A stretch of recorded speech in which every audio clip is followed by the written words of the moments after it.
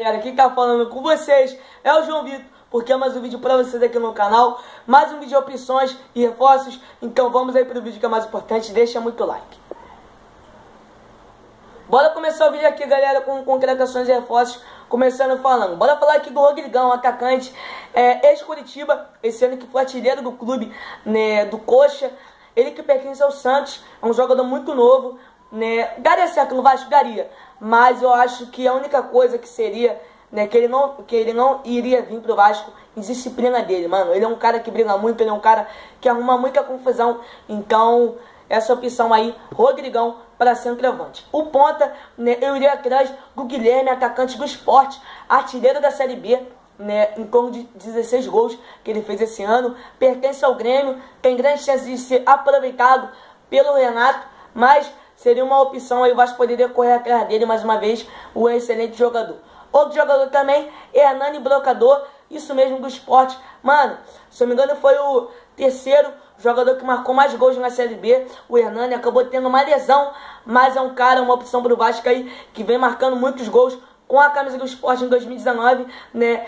E poderia sim, mano, vir pro Vasco, um cara experiente, um cara que sabe de futebol, que, que seria uma boa opção. Agora aqui para volante, para primeiro volante, é um jogador que, mano, seria uma excelente contratação pro Vasco, que é o Juan Alano, cara. O Juan Alano, jogador que pertence ao Internacional, ele que jogou essa temporada pelo Coritiba, jogou muito bem, marcou muitos gols, só para vocês saberem. Um dos destaques do Coxa, o Juan Alano. Cara, meu irmão, o que esse moleque fez esse ano no Coxa foi impressionante. A torcida do Coxa pede, né, tá pedindo toda hora que ele fique no Coxa, mas é bem provável que ele saia, né, ou seja vendido para um outro clube, ou seja emprestado, ou então seja até aproveitado pelo pelo Internacional esse ano, mas só para você saber, o contrato do Juan acaba agora no final do ano, então seria uma excelente contratação para o Vasco, para primeiro volante, jogador novo, 23 anos, por que não? Por que não ir atrás dele? Ele é um excelente jogador. O outro jogador também aqui para vocês,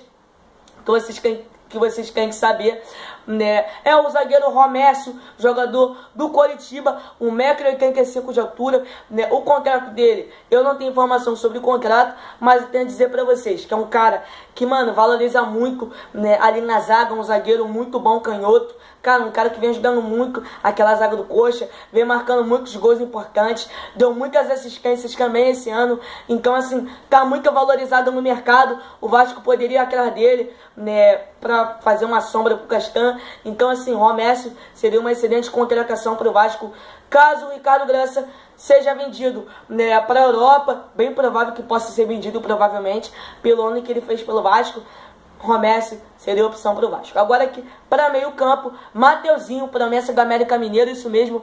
Muca, 4 milhões de reais, vem fazendo muitos gols. Cara, ajudou bastante o América né, a se ressuscitar nessa Série B. Quase o América cai para a Série C por pouco não caiu, né? Ficou em quinto lugar no brasileiro, mas não conseguiu a vaguinha. Mas aí o Mateuzinho seria uma excelente contratação, um jogador novo, um jogador né, de 1,68m de altura, mano, um moleque muito veloz, tem um bom passe, tem um bom cruzamento, tem um bom drible, principalmente. Um dos destaques do América, sempre o Mateuzinho. Né? Não vem sendo valorizado no mercado do Brasil, mas poderia ter uma oportunidade no Vasco. O Vasco poderia sim colocar 4 milhões para poder contratar o Mateuzinho, porque ele é um excelente jogador e daria muito certo no Vasco. O outro jogador aqui pra vocês é o jogador Denner, promessa do Juventude. Por que eu vou falar dele? Porque, mano, ele é uma promessa mesmo do Juventude. É um garoto de apenas 19 anos. Jogou esse ano na Copa São Paulo pelo Juventude.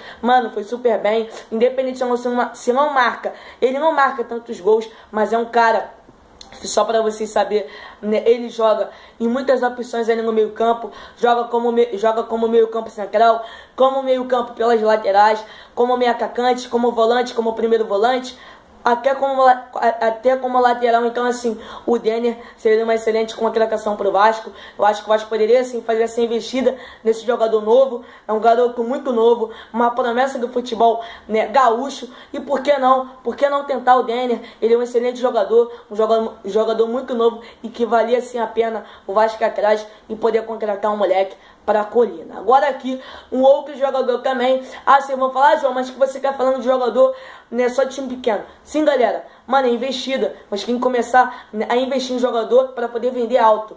Outro jogador aqui para vocês é o Bascos, é um jogador de apenas 27 anos, ele joga no papão, né? É um canhoto que bate muito bem pênalti, galera, não tô de gastação. Pode pesquisar aí no YouTube aí, né? Gol de pênalti, gol de falta. Desculpa aí, perdão, qualquer jeito. Mano, Bascos, meio campo, joga também como volante, é um canhoto do Pai Sandu, vem jogando muita bola lá, né? Pena que o Pai Sandu não foi campeão da Série C, mas cara, jogou bastante lá, jogou muita bola no clube lá do Papão, sendo um dos destaques do lado, né, de outros jogadores lá, né? Então aí o Bascos seria uma excelente contratação para o Vasco, para volante uma boa investida, galera. 27 anos, ainda muito novo ainda. Contrato do Bascos até o final do ano. Então, assim, acaba agora em dezembro. Por que não tentar o Bascos? Qual é o motivo? Independente se ele cai na Série C, mas por que não pode cantar ele? É o quê? É proibido contratar jogador de Série C?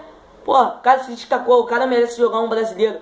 O outro jogador aqui para vocês é um lateral esquerdo, que é o Jefferson, lateral do Goiás, destaque do Goiás. Mano, o moleque vem jogando muita bola no Goiás. Independente se é nosso Goiás, foi para a Sul-Americana, mas o Vasco, né, independente se o Goiás vai ganhar mais dinheiro, mas cara, o Vasco vai ter mais investido, o Vasco vai ter provavelmente um possível patrocinador que é a Van, e com isso o Vasco poderia, o Vasco poderia sim investir no Jefferson, que também é um bom lateral, é um moleque que entrou, mano, no Goiás, mano, entrou na briga, é guerreiro, tem um bom passe, tem um bom cruzamento, dá muita assistência, fez alguns gols. Mano, Jefferson seria excelente contratação pro Vasco para lateral. Eu posso dizer aqui, mano, se o, se o Jefferson vir pro Vasco, mano, ele iria resolver a parada ali na lateral, que tá complicado.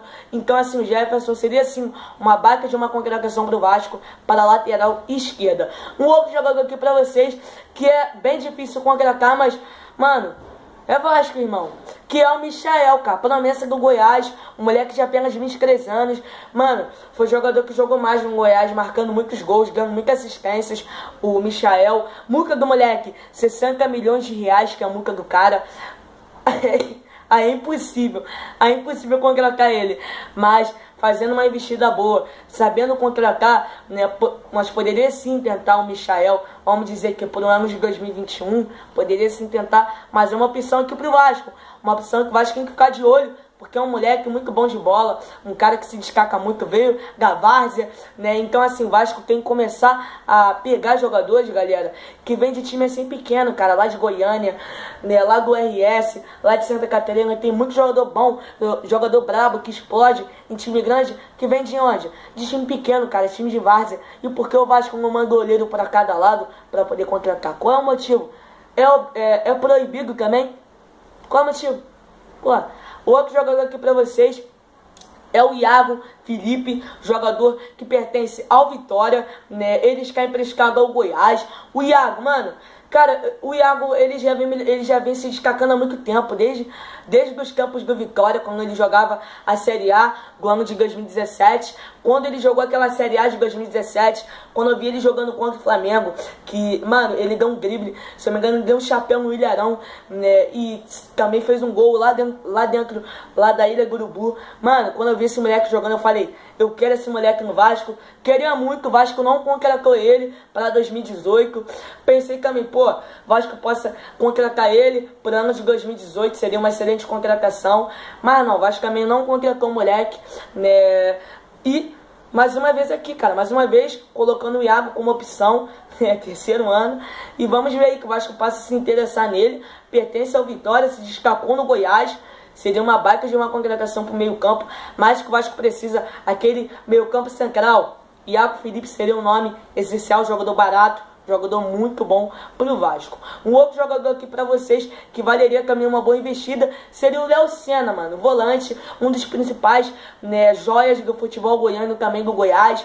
Um moleque que se destacou muito pela armação, pela roubada de bola que tem em campo, pela dureza né, e pela calma que ele joga. E assim, ele já, vem, ele já vem sendo cogitado por alguns clubes grandes do Brasil e também por alguns clubes da Europa. Mas é, valeria a pena, valeria a pena investir no moleque, o moleque é muito bom, né, tem apenas 23, 23 anos, joga de volante, né, primeiro volante, segundo volante, meio atacante, meio campo central e meio campo também dos lados, Então aí, galera, Léo Senna seria uma excelente contratação para o Vasco.